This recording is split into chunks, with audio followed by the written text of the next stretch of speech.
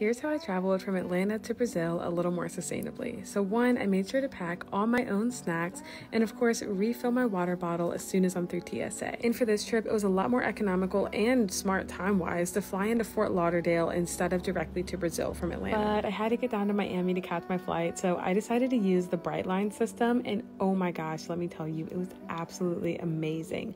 It only took me like 36 minutes as opposed to like the hour, hour and a half that it would take in an Uber. Plus, this was way more affordable. Like literally only cost like 20 and bucks. look at how much traffic I was able to avoid.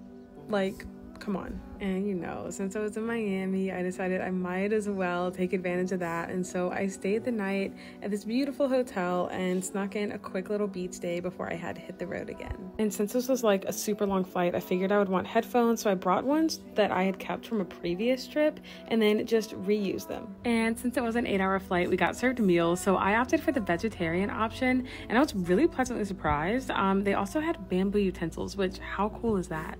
And then the dish came wrapped in this like thin aluminum, which was super nice. And I finally landed, and now I'm in Brazil for the next five weeks doing research, and I couldn't be happier.